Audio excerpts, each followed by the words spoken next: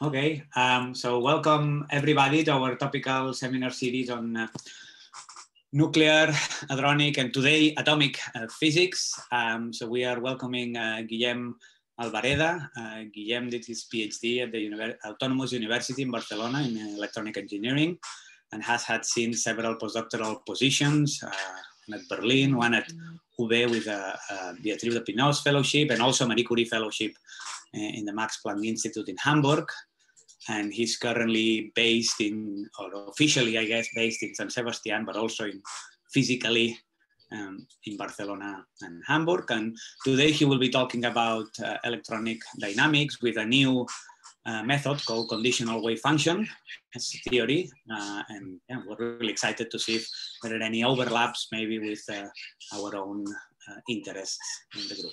All right, Guillem, Thank you for coming. Take it away. Uh, Guillem is happy to take questions uh, uh, during the seminar, so feel free to ask any questions either through the chat or out loud. Good, good. Thanks, Arnau. So um, yes, yeah, so I'm going to talk about this conditional wave function theory. This is a project that I start um, when I was in Berlin, um, more or less 2014. Um, the idea was basically to address um, the dynamics of electrons and nuclei um, couplet in, in, in molecular systems.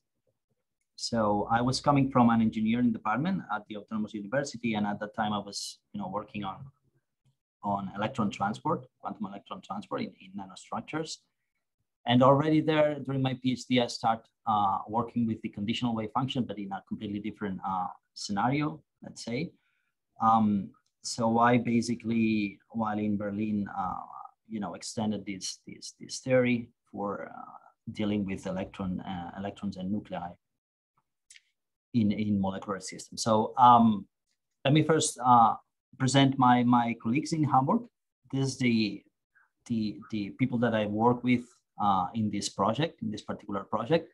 So Angel Rubio is is uh, currently the, the director of the Max Planck Institute for the Structure and Dynamics of Matter in Hamburg.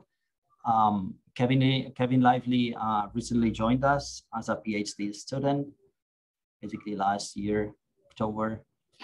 Then there's Shunsuke. Shunsuke is, is halfway between uh, uh, Tsukuba in, in, in, in uh, Japan and, and Hamburg. And finally, Aaron Kelly, uh, who uh, recently joined us as well. He was previously in Canada. Now he has joined us as a junior leader in, in Hamburg. Okay, so um, a bit of context, because probably this is a bit far from your expertise. So let me try to, um, you know, introduce you the, this system. Um, this is a, you know, a, a prototypical artificial uh, reaction center that is, is used to study uh, photosynthesis, uh, artificial photosynthesis.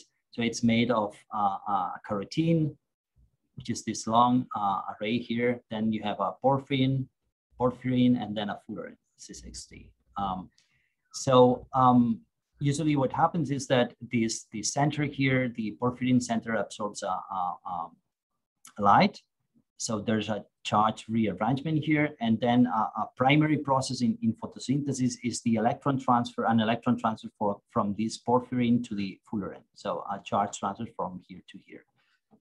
And uh, so in the in the top panel, what I show is is um, a dynamics made of um, time-dependent density functional uh, um, with frozen ions, let's say, with frozen nuclei. And uh, basically what you see is that, uh, okay, this is going a bit slow. Um, you know, after this, this absorption of light, the, the, um, the excitation is mainly localized in the porphyrin. So it stays there, no charge transfer at all at least not from the porphyrin to the to the fullerene center, right? In here. But if you now allow the the the nuclei to move, so so let's say that the, the, the top panel is mainly uh, associated to Born-Oppenheimer dynamics, um, where where the nuclei are frozen. If we now allow the the nuclei to move, basically there's a technique called um, TDDFT plus Ehrenfest, which allows to move um, the nuclei classically as classical particles on top of mean field potentials coming from the electrons, then what you see is a completely different dynamics. Um, let's see if this works. So after the uh, absorption of light in the porphyrin uh, center, what you see is a complete rearrangement of charge in the entire um, triad, in the entire uh, uh complex molecule, right? And in particular, what you're going to see is that um, there's going to be a, you know, a charge transfer. So um, purple means an excess of charge. So you're going to see how there's going to be an excess of charge here in the in the fullerene, which means that you know some charge transfer after the excitation goes from the porphyrin to the to the fullerene center. But what is important here, um, more than the details of the of the dynamics, is that the you know uh, uh, uh, allowing the nuclei to move radically changes the the the, the entire process. So uh, one what one could, could learn from from these uh, videos, let's say, is that um, you know taking into account the the nuclear motion is absolutely important to describe this type of process, in particular photosynthesis, right? So this is the state of the art simulations where um, you have, um, for the nuclei, you have a single trajectory, a single multi-configurational trajectory that describes the nuclei, and these nuclei evolve on top, as I said, uh, uh, of, of mean field uh, electronic potentials, right? Um, this is still far from describing the, the, the, the exact process. So one needs to go even beyond the, the bottom uh, panel so by including, you know, at least the, the, the, the statistics, let's say, of the nuclear distribution, instead of taking one single trajectory, one should take an ensemble of trajectories describing at least at the, at the initial time, the proper uh, quantum distribution of the nuclei? Furthermore, sometimes not, not, not here maybe, but in other uh, processes, quantum nuclear effects are also important tunneling effects are, are important. For example, uh, coherence is, is also important in certain processes. So one, one needs to go beyond, beyond this. Um, okay, so what, what's the, the, the standard way to, to approach this, um, these dynamics, this molecular dynamics from, from an ab initio point of view?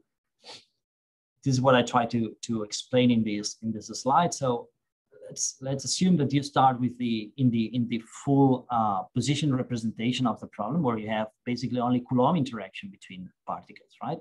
And then you have electronic coordinates here, nuclear coordinates. That would be, you know, that would correspond to solving the full molecular Schrodinger equation in, in, in the in the configuration space, right? But what, what is done usually is um, you know, taking into account the what is called the Born-Huang expansion of the molecular wave function. Um, this, this expansion is basically a sum over you know uh, electronic states uh, with some coefficients that uh, usually are called the, the nuclear components uh, in these ansatz. Um, this is an exact ansatz. It is a, just an expansion of the full molecular wave function. And once you introduce these ansatz into the full Schrodinger equation, and trace out the electronic degrees of freedom, what you end up with is uh, uh, with a, the, this, what is called the BO picture, the Born-Oppenheimer picture, where the nuclei evolve on uh, a bunch of potential energy surfaces corresponding to different electronic states, right? So um, imagine that you start in the ground state, for example, which is the, the, the bottom line here. Um, then uh, the dynamics can occur uh, adiabatically, so uh, associated to a single electronic state here. But if there's some coupling between the different uh, surfaces, which uh, is due to the what is called the non-adiabatic couplings, um, then you can have transfer probability between different electronic states. That's what is called non-adiabatic molecular dynamics. Um, what is important here is that 99% um, of the methods are based on this picture. And that's not a casualty. This is simply because uh, for historical reasons, um, it was first the, the electronic structure, structure what was uh, developed. So uh, it was really useful to take advantage of all this machinery that was constructed during the, the last 40 years, 50 years, um, to describe afterwards these molecular dynamics. So one, one can take um, any any suitable uh, uh, electronic structure package package compute the BO surfaces, the non-adiabatic couplings, and then the dynamics occurs in this nuclear subspace um, according to some equations of motion and, and which can be approximated at different levels, you know, ring polymer, uh, MCTDH, multi-configurational time-dependent Hartree surface hopping, multiple, there's a bunch of, of, of methods um, already in, in the literature that um, allows to describe quite accurately uh, molecular dynamics. Most of them are, are mean field in a sense, um, which means that uh, um, it's it's difficult to capture um, what I showed you before or other um, type of processes uh, that are relevant, like vision, like um, even even even uh, the description of smaller molecular systems is, is, is sometimes complicated with mean field approaches, right? Um, a completely different um, picture, which is the one that I'm gonna um, try to describe here, is what we call the conditional uh, wave function picture, the conditional decomp decomposition picture. This is still um, in the full configuration space. So that means that uh, we don't um, introduce um, electronic states in our in our uh, description, and then everything happens in the in the in the position representation, both for the electrons and for the nuclei. No tracing out of degrees of freedom, let's say. Okay, and there's only one method that uh, works in this picture, which is uh, uh, what I showed you before, this, this time-dependent density functional theory coupled to Ehrenfest dynamics for the nuclei. This is uh, probably the only the only method that works in this in this uh, full configuration, full position representation of the problem. So it's it's basically mainly an explore it, and and um, and we are we are working in there uh, to find uh, whether uh, you know new efficient approximations exist or not. And uh, okay, what, what I'm going to show to you is just uh, um, an attempt to to find a, a, an, an efficient method based on on that picture, right? This picture uh, might be interesting, for example, where you have a really large number of BO surfaces involved with uh, a large number also of, of, of uh, relevant non-adiabatic couplings. In, this, in, in these scenarios where the dynamics is completely non-adiabatic, let's say, um, computing this or pre-computing all these quantities, the BO surfaces, the non-adiabatic couplings is extremely expensive right? So um, the idea is to to find a better a better description of this type of non-adiabatic process, uh, relying on a completely different picture. Okay, so what is a conditional wave function? The the uh, the idea is very simple. Um, you take a wave function which can be time dependent, time independent, doesn't matter at this point. Um, that depends on the electrons. This is the small r, capital R refers to the nucleus. Okay. And what you do is basically um, you project out or, or you, you project this wave function on a given electronic position. And then what you get is just a, you know, a slice, a, a nuclear slice, which is this one here. Imagine that this is the uh, a very simple problem where you have one electron, one nucleus in one nuclear uh, nucleus in 1D. So that would correspond to the uh, full probability density associated to this wave function. What you do is you just project on a given electronic position, which is this one here, and you get a slice. If you do the same for a, another electronic position, you get another slice, right? And you can do exactly the same for the for the electrons. So you can get electronic conditional wave functions by projecting the full molecular wave function on a given nuclear uh, uh, position. And basically what you get is now these slices here which are obviously uh, in this 2D problem perpendicular uh, to the electronic ones.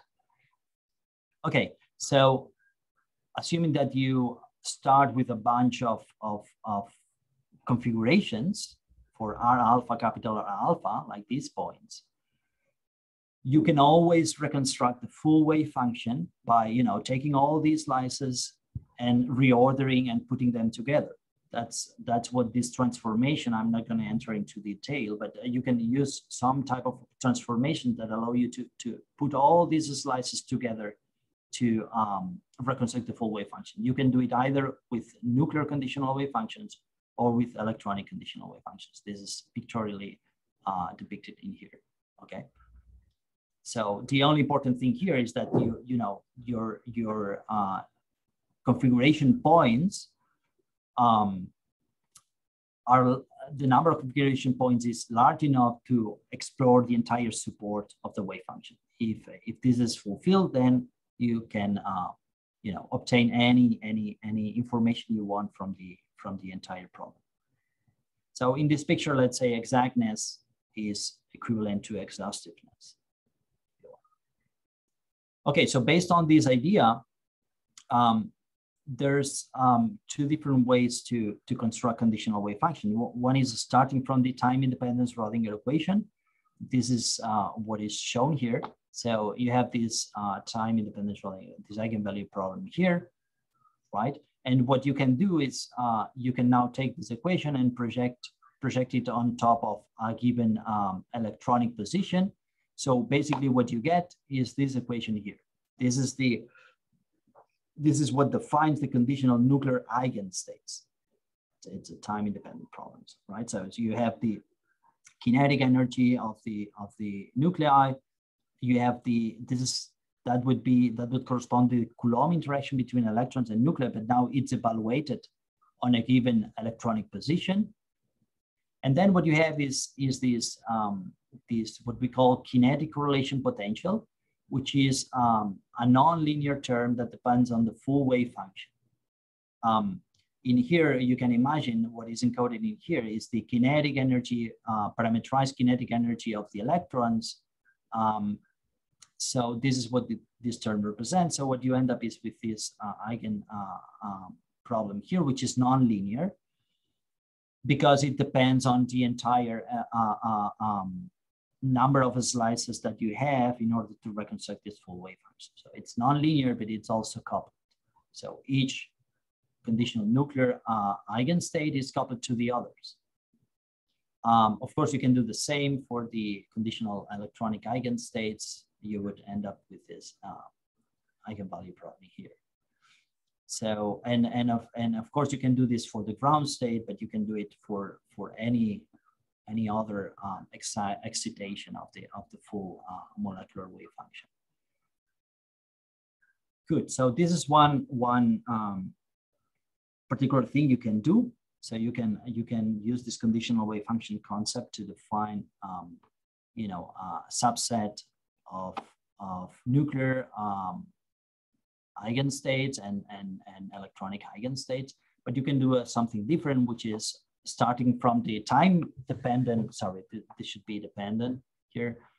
For, you can start with the time dependent Schrodinger equation and do exactly the same, right? So you take the, the, the um, full uh, equation of motion for the molecular wave function, and then you project it on top of a, a given electronic position. And what you end up is with this equation of motion for the conditional um, nuclear states, which are now time dependent. Okay, so again, you have the um, nuclear kinetic energy, the conditional Coulomb interaction um, evaluated on a given electronic trajectory, alpha. Sorry, I, I didn't mention that. Alpha refers to each um, one of these configuration points that you are, are, are sampling with. And now this, again, this, this, uh, this term here makes the equation nonlinear but also non-Hermitian, right? So these are this this Hamiltonian is now non-Hermitian because these terms here uh, can be complex.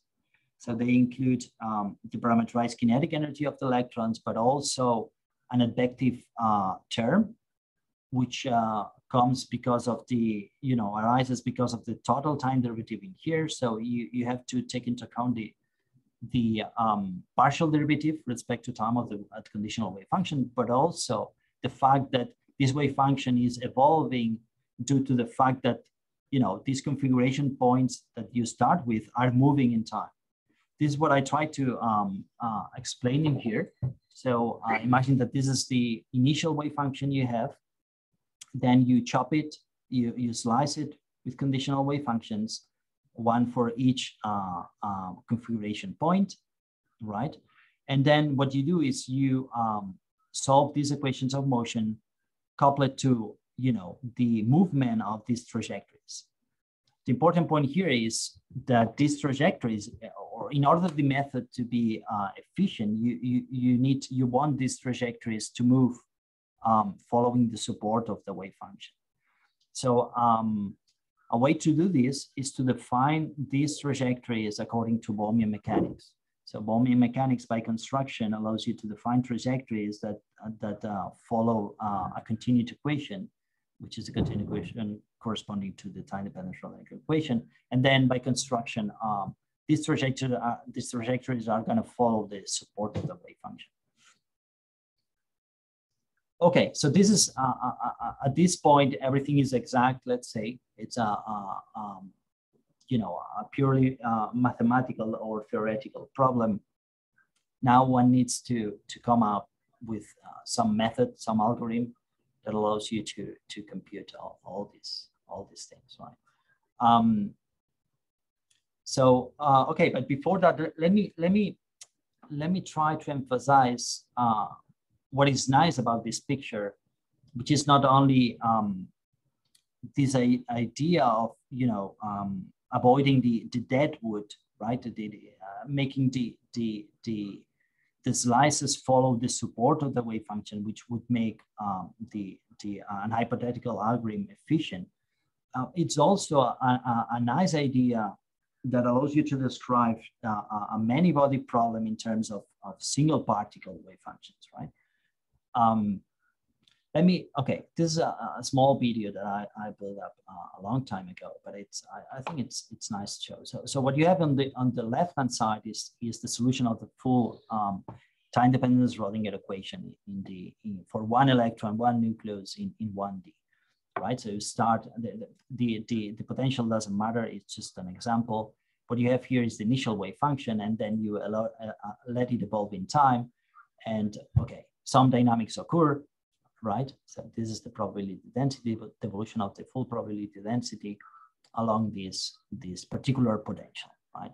And what you have on the, on the right is um, the nuclear conditional wave functions that I talk about uh, for three different um, nuclear uh, configurational uh, initial positions, right? Um, and each of these you know, dashed lines here uh, would correspond to the to the conditional wave function. Okay, so let me show you how uh, the same exact dynamics uh, look like in, in the eyes of this single particle uh, uh, nuclear wave functions. So the density is reconstructed from uh, these conditional wave functions. And what you see now is that, you know, the splitting of the wave function of the, of the probability density is now very clear in terms of, of, of the, these effective potentials that arise in, the, in, this, in this single particle formulation of the problem, right? So, you know, this, this basically this, uh, this branching of the of the probability density can be now associated to to deep peaks in the in the effective potentials that come basically from from the kinetic correlation potential that I showed before. So these these um, these holes here are basically um, complex in nature. So uh, associated to them, there's there's a there's a scalar potential, uh, which is real uh, has a real part and an imaginary part. So th these holes here act also as a as a as a as a source or uh, as a drain of probability, right? So okay, what, what what is nice about this picture? So the the the um the this picture fulfills the original intention, which was avoiding this the computation of these Born-Oppenheimer surfaces, conical intersections, non-adiabatic couplings, everything is represented in the full position space. So all these quantities do not even show up, right? Not even Berry phases. Although, although of course you can you can reconstruct all these quantities and, and analyze them, right? Because you have uh, the entire information if you have a, a, a large enough ensemble of, of these slices. This is also from the from the conceptual point of view um, an exact way to treat uh, open quantum systems and we have shown that this is uh, closely related with the stochastic Schrodinger equations. Um, and what I show in this video, right? So it's it's a way to extract the exact dynamics from the from the eyes, if you want, of, of single particles in a, in a many body problem, of course. But there, there's of course uh, disadvantages which come from the fact that the equations of motion that you end up with are, are nonlinear um, with non-local sources and things. And, um, and um, the, the, the, most important problem is that um, they are very hard to solve numerically because uh, as you see here, right, these, these potentials are, are very peaked. Um, so they are very steep. And um, and this makes any you know any, any propagation on top of these potentials a nightmare basically. So um, very nice from, from the conceptual point of view very unpractical um, at the end though right? Um, so that that's where um, we started introducing approximations so the first approximation um, is the what we call the Hermitian approximation. Um, basically, uh, if you remember, this is the uh, uh, equations of motion for the for the nuclear and electronic conditional wave functions. So what you do is, okay, let's let's try to do what every everybody does, right? So let, let's assume that my wave function is a simple product, a Hartree product, if you want, of, of uh, nuclear and electronic wave function. Um, but you use these ansatz only to approximate the kinetic and advective correlation potentials here and here. Okay. So you don't start with this ansatz from the very beginning. You only use it afterwards uh, to uh, approximate these, these potentials here. Um, so what you end up with is, is the, this Hermitian scheme. You basically recover uh, the hermiticity in your problem. So your Hamiltonian is, is back again uh, hermitic because these terms, when you use these ansatz, these mean field ansatz, become um, you know, purely time dependent potentials. Um, and that that's that's uh, you know introduces only somehow a global phase that is irrelevant to compute any observable of interest, right? So um, you can basically then approximate these equations of motion by these these two here, which are uh, again relying on a Hermitian Hamiltonian, and um, furthermore they are uh, linear again, which is also very attractive from the computational point of view. Um, and, um, and the trajectories now are coming not from the full wave function, but from single particle wave function. So if you're not familiarized with this language, this is, this is the standard um, velocity field that is defined in, in Bohmian mechanics. So uh, these, these velocity fields are by construction um, obeying uh, the, uh, the continued, the full continued equation, then, so they are expected that these trajectories to follow the, the support of the wave function. Um, yeah, another relevant point is that although we use this mean field approach to um, to tackle these these complicated potentials here, uh, this scheme is still beyond mean field. So that's that's uh, we have some comparisons. Uh, let me show you one.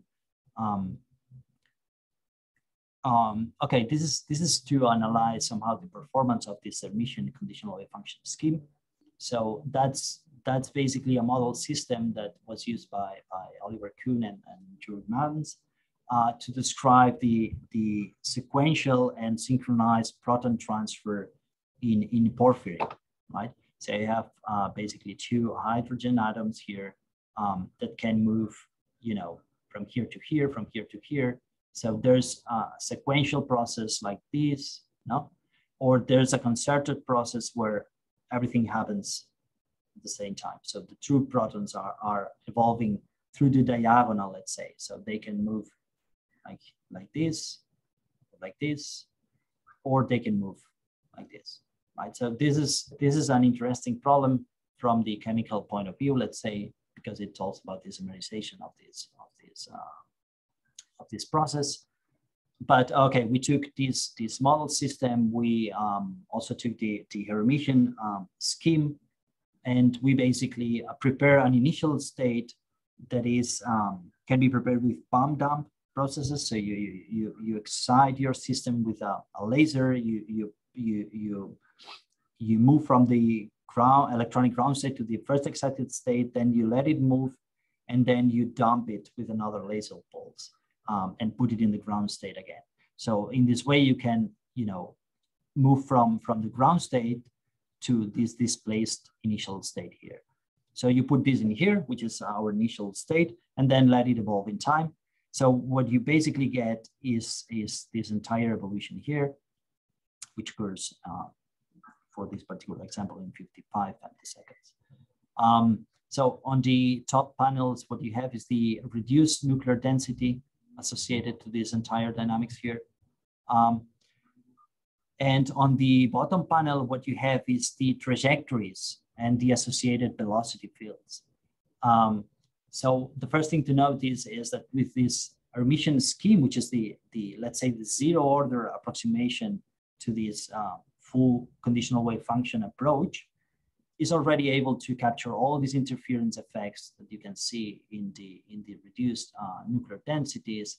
But if you take a look at the trajectories, um, you also can notice that you know there's, for example, here some quantum vortices here, which are which are well captured by the by the by the method. Um, in here, uh, I'm not sure you can appreciate this, but there, there's uh, two large, very large red arrows which would correspond to uh, you know trajectories tunneling through this um, um, saddle point, this maximum here of the potential. Okay, so this um, basically was a test um, to, to assess this uh, Hermitian conditional scheme, which is the first one that we came up with. And uh, of course, in here, everything works nicely. In other uh, examples, uh, it doesn't for example, wh wh whenever there's a branching of the nuclear wave packet, um, a complete branching in two pieces of the nuclear wave packet, usually this, this, uh, this scheme fails. But it's a nice starting point to develop further approximations. That's the somehow the conclusion. Um, and this is and this is what we what we do next, right? What we did next. Um, there's uh, uh, uh, another set of methods that, that we call interacting conditional wave functions um, that are based that rely on, on, on, on, the, on the goodness of this, of this Hermitian conditional scheme. So they are build these methods on this Hermitian scheme, as, as I'm going to show. So, um, okay, we, we basically uh, um, explore two different ansatz associated to these Hermitian conditional uh, wave functions. So the first one um, relies on, on, on, on stationary conditional eigenstates, the one I showed before. So um, these are conditional um, wave functions that are time independent, that come from the time independent Schrodinger equation. So you, we basically wrote the full wave function as um, you know, uh, as, a, as a as a basis, the, the composition in terms of um, conditional electronic and nuclear eigenstates, right? Uh, of course, accompanied by, by some coefficients that, that are the ones that carry the, the time dependence of the entire uh, molecular wave function. That's um, that's a, a, an ansatz that is particularly um, suitable for preparing um, um, initial states, time dependent, uh, to, for solving the time dependent Schrodinger equation. Um, it's it's extremely uh, it's highly parallelizable, and we use we use these ansatz mainly to um, to solve the time dependent Schrodinger equation in, uh, using the imaginary time uh, uh, um, propagation method. Um, and as I said, these, these, even if, if these coefficients carry some, some time dependence, uh, the fact that the, the conditional uh, wave functions that we use are eigenstates of the conditional Hamiltonians makes these, these uh, particular ansatz only suitable for equilibrium or, or close to equilibrium dynamics, right? On the other hand, we um, uh, export another ansatz, which is this one here, where we do something very similar, but now our electronic and nuclear conditional wave functions are time dependent. Okay, so this um, relies on the on the time dependent conditional wave function uh, framework that I explained to you before. So um, one could use these ansatz, you know, by by initializing the initial state using this this scheme here, and then propagate according to this one here. So it's it this this um, the method based on this ansatz is is not um, that highly parallelizable, but still it's parallelizable. And um, what is important here is that is is is uh, very good in in in um, you know describing far from equilibrium uh, uh, dynamics, dynamics that that um, that are large in amplitude that explore a large uh, space of, of, of in your problem, right? Good. So um, let me show you first some some results using the the the these uh, frozen conditional wave function ansatz, this one here, and then I will go with uh, some other examples uh, where we use this this type of of ansatz. Okay, so um, this is this is um, the Born-Oppenheimer surfaces for the for H2 basically. Um, so um, if you remember, um, these are these are constructed uh, solving the the the the electronic eigenvalue problem, the the purely electronic time dependent Schrodinger equation.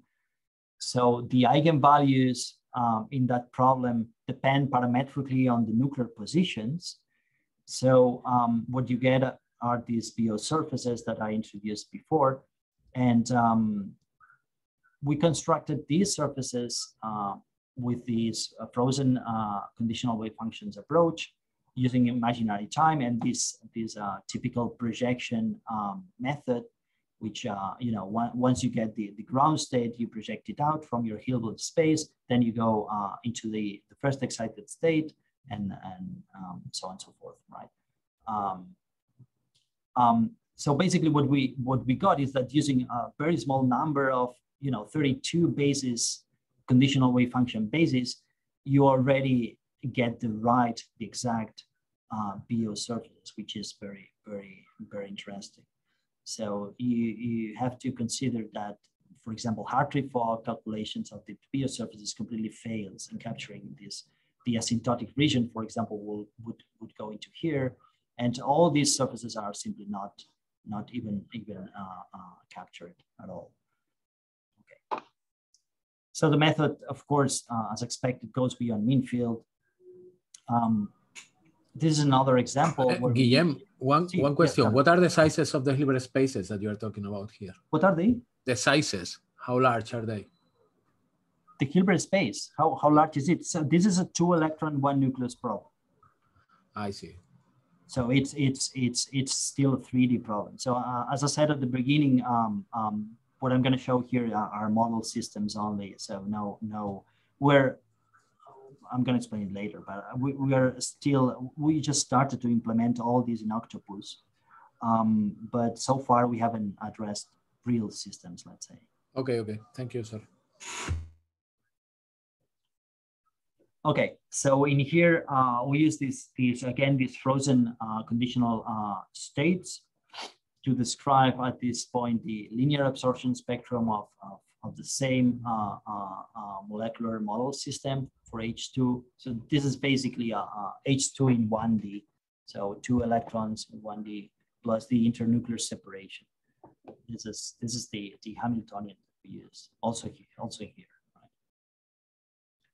Um, and here what you see is basically how, um, you know, the, the, this frozen approach, this frozen basis approach captures uh, um, the, the exact absorption spectrum as a function of, you know, the, the number of excited conditional eigenstates you use in your ansatz and for different number of configurations, for different number of slices, if you want. Okay. So um, as I said before, right? So, so, for for equilibrium problems, for solving the time-dependent Schrodinger equation, this is uh, you know quite efficient in, the, in, terms of number of slices you need. Uh, when you go into dynamics, this frozen conditional functions approach is not is not that efficient in the sense that you need to go up in number in the number of very uh, high number of, of slices, right?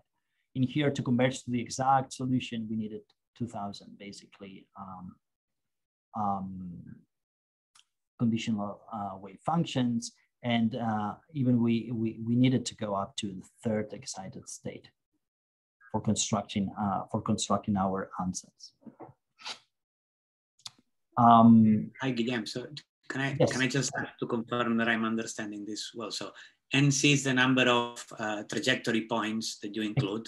Yes. Right. And then, um, so as you go up in this panel, you are increasing the number of trajectories, but you're also increasing the number of excited states. Exactly. Exactly. Let me let me show you the the ansatz again. This is the frozen conditional eigenstates ansatz. So you have an alpha, which refers to the to the number of trajectories you have, right? And then you have also excited conditional wave functions which uh, is is this uh, is, is described by this this uh, this total number of excited states m.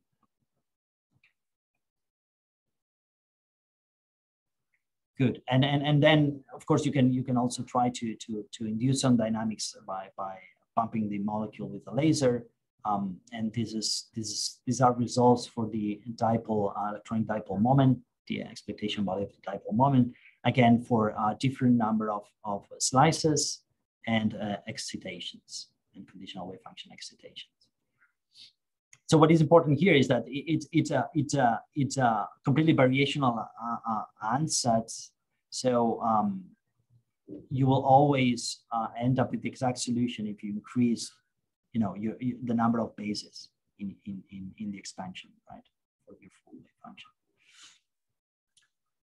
um, that's that's something that I did very recently, which is uh, in here. what I did so far is to you know use these conditional wave functions to separate um, degrees of freedom, electronic from nuclear degrees of freedom, or or or you know um, two elect uh, many body electronic wave functions uh, converted into into single electronic wave functions. But also you can use these um, conditional wave functions to separate uh, geometric degrees of freedom. Let's say separate x from y, right? You can also do that. And um, it turned out that um, the, the, the, the, the method is also um, capable of capturing these geometric correlations that you would find, for example, um, when trying to describe a conical intersection. Um, that's you know the the the the, the circles the dots correspond to the to the um, ICWF to the conditional wave function approach and the surfaces are corresponding to the exact. So uh, and this is okay. This is for for an extension of um, a model system that is called Shin-Metiu where you can tune some parameters to get uh, very nice conical intersections and and and, and avoided crossings things like that right? Um, so again, you can use your, your conditional wave functions here, your conditional eigenstates, frozen states here, to expand uh, 2D wave function. So this is not two electronic degrees of freedom. This is one electronic degree of freedom, but in, in the X and the Y direction. Okay, this is this is just for fun somehow. So so this is not the ultimate intention of this method. That was just to realize that you know, these conditional eigenstates are also useful to, to the couple uh, geometrical uh, internal degrees of freedom of, uh, at the single particle level, right? um, this is now, okay, the results I'm gonna show now are for the, the dynamical basis, the basis where our conditional wave functions are time dependent and evolve in time according to the Hermitian scheme using and you know, being guided by, by these Bohmian trajectories.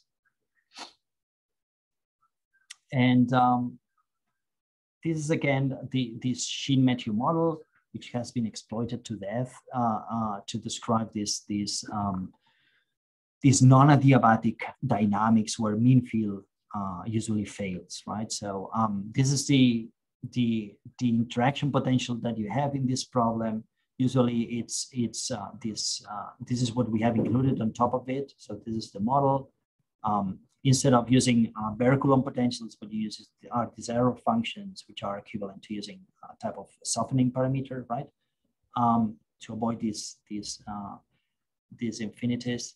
And then on top of this, we, we added a laser field um, just to you know promote some dynamics that that explored uh, that explored a, a, large support of uh, sorry a large um, um, region of the Hilbert space. So th this is a situation where the frozen uh, conditional wave function approach would, would basically fail. Um, and um, and okay, in, in, here we start in the ground state, ground state that has been constructed using the frozen uh, basis. And then one, once we have the ground state, we switch on the laser field and we switch from frozen basis to dynamical basis, dynamical conditional basis. So uh, we allow them to move in time, uh, both because of an explicit time dependence and because they are being guided by the trajectories. And these are the adiabatic populations. So the probability that sits on each of the electronic states in your problem. So um, in this particular problem, we needed um, 256 um, slices to converge to the exact solution, basically. And uh, what is important also is that uh, um, the grounds that uh, we were able to capture it with without using any excited conditional wave function. So that means that's a, a, a um, you know, the total number of basis functions that we have in our ansatz. So with 256, we basically reproduce the, the, the, the um, population dynamics, but also something that mean field approaches are not able to capture, which is the decoherence. Right?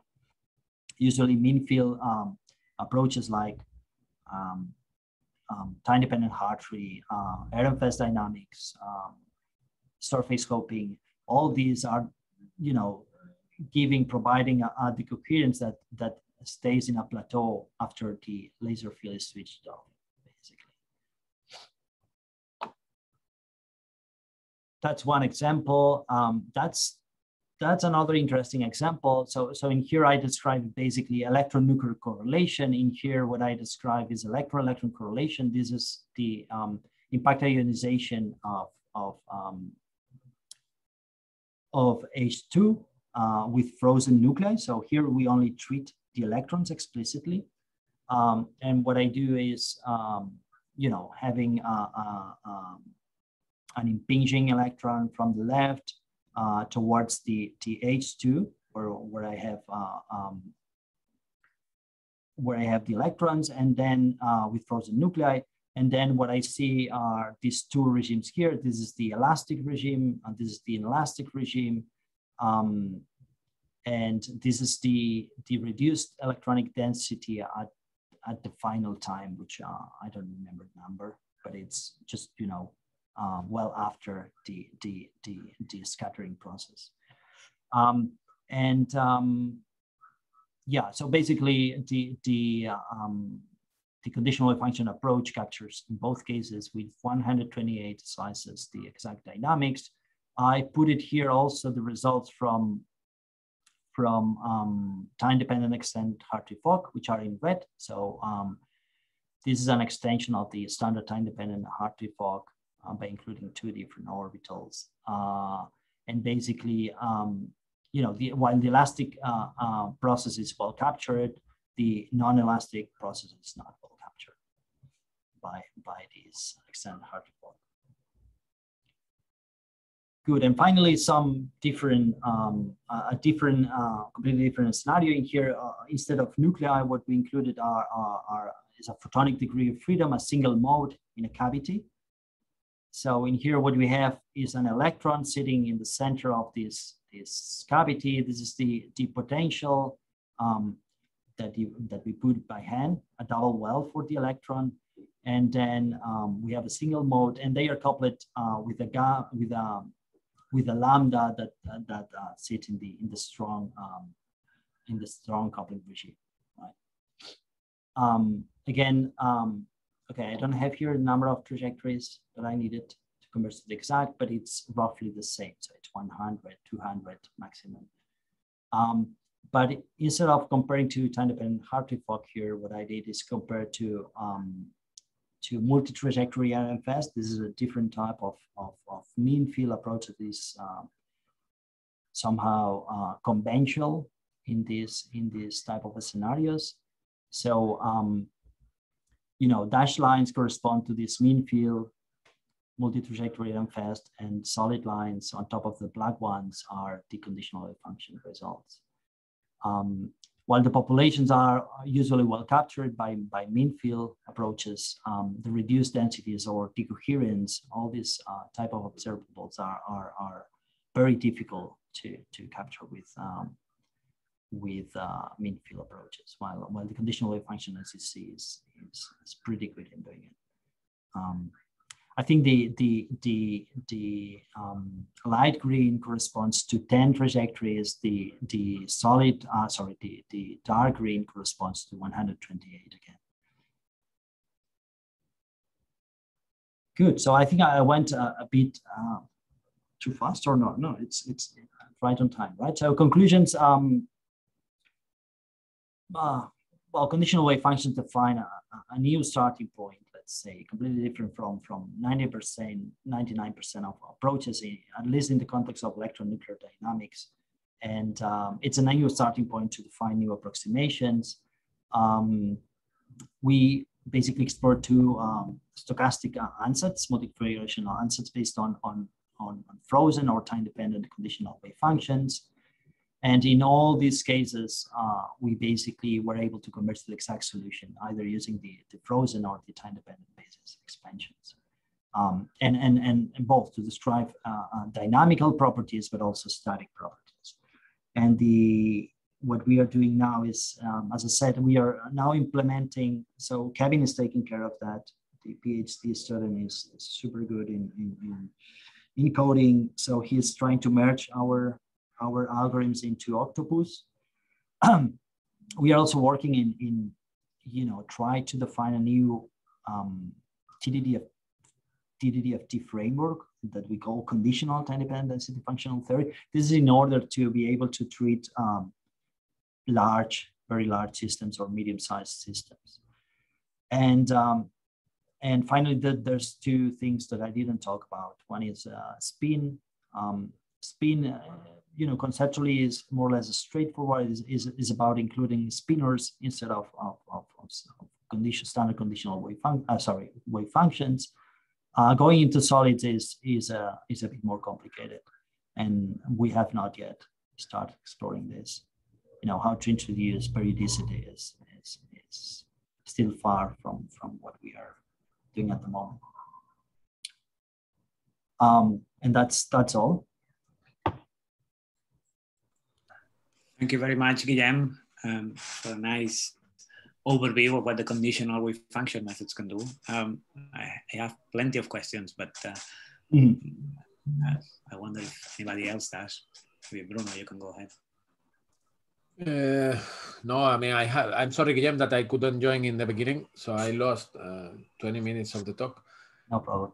but uh, I, when I actually, when I connected, the first thing I saw was something that said no Berry phase what why did you emphasize that? What what do you mean? Yeah um, so very okay in the context of, of molecular dynamics um, you know the Berry phase is what you what you know it, it's a way to quantify the interference. Imagine that you have a wave packet here right? Mm-hmm. and then and then you let it evolve and then when it arrives this point it, it splits into two parts right? One that goes uh, into the left and one to the right, no? And uh-huh. when they, you know, collide again here, they generate some interference pattern. And, um, you know, Berry phase in, in, in, this particular context uh, uh, uh, is a way to quantify this, this, this or to predict this, this interference pattern, right? So it's due to the fact that the phase that, that, that the wave packet going uh, into the right or into the left just is different, right?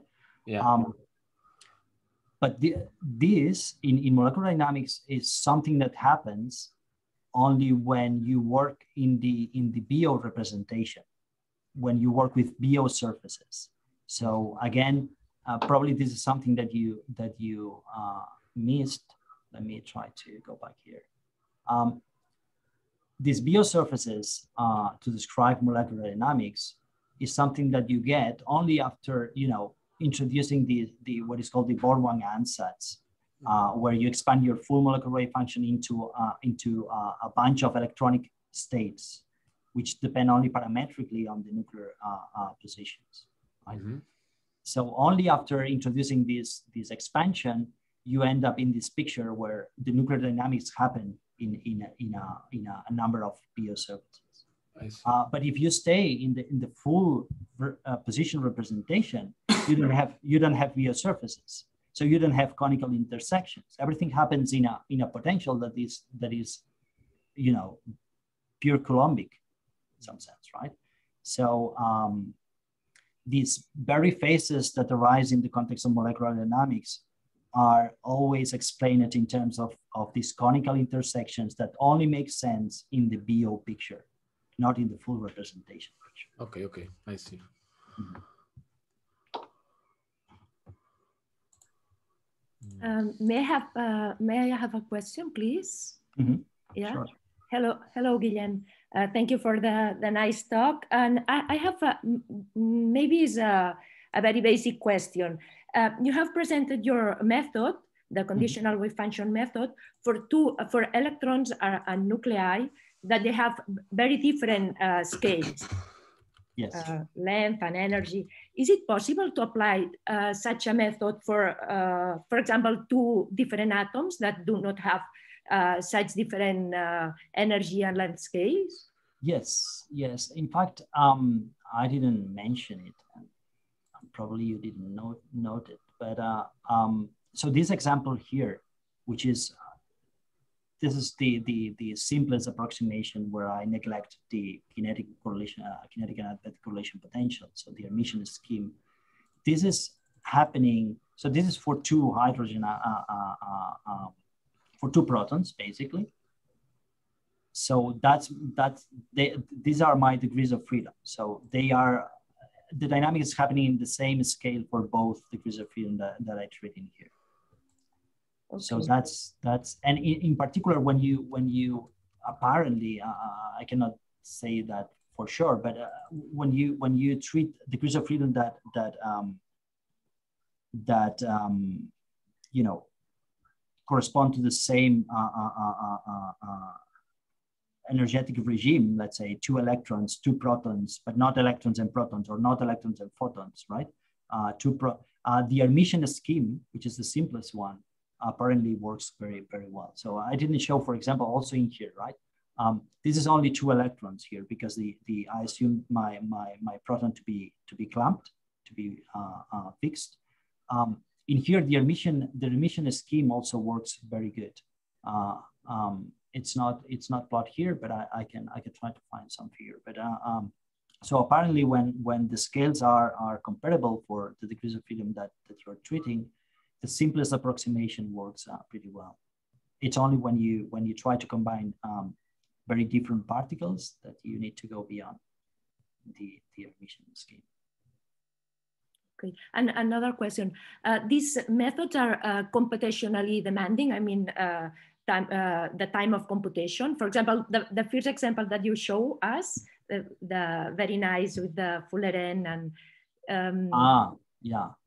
No, uh, we are not we are not at this point yet, uh, um, and uh, and I'm I'm afraid that that you know in, in in in the current form of the of the of the method, we cannot scale it up to this to these sizes. I, am pretty sure about that. So so we need to include, for example, you know some some sort of semi-classical approximation for or you know splitting the, the, the full nuclear conditional wave function into classical pieces and, and, and only keep the quantum nature for the, for the, for the lightest, uh, uh, for the protons, for example, treat the rest in a classical way. Uh, we need to, to introduce more approximations uh, to, to be able to tackle this.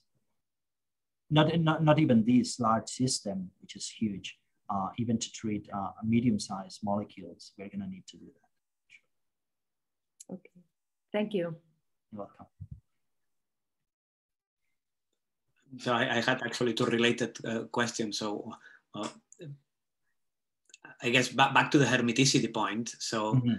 um, it's, it's a bit unclear to me what is it exactly that you're losing when you're, so I, I can see where the non-hermiticity comes from, I guess, the continuity uh, equation in the single particle space in a sense. And so by, by removing that non-hermeticity and keeping unitarity, of course, everything's much simpler. Mm-hmm, mm-hmm, mm-hmm. Um, but you're also losing that sort of that flux that is going away from from um, uh, from that single particle state. So does this have to be, say, maybe a confined system for this to work? Is there is there any? I mean, have you have you tried to test or, or to understand exactly, you know, what is the um, limitation? Okay, what, what we have tried to understand is is um, you know how these these kinetic and advective correlation potentials look like and and they are the responsible uh, for for making the the full hamiltonian non non-hermetic right? So so they they um, non-hermitian so um i guess it's equivalent right? Um, um and um these these potentials here basically um become important where, where whenever in your dynamics you have you know some branching of the probability density. And this is this this you can expect because of, maybe not in here but in in um, the original sorry. Oh, oh okay. Um, so if, if okay in here the, these kinetic and correlation potential are written as sources and sinks out of the Schrodinger equation let's say but you can you can put them in in, in inside by dividing by the wave function right? So if you do that if you put them inside then you you you realize that they are you know potentials that depend on one over the wave function. So whenever you have nodes that's that's they are going to be important.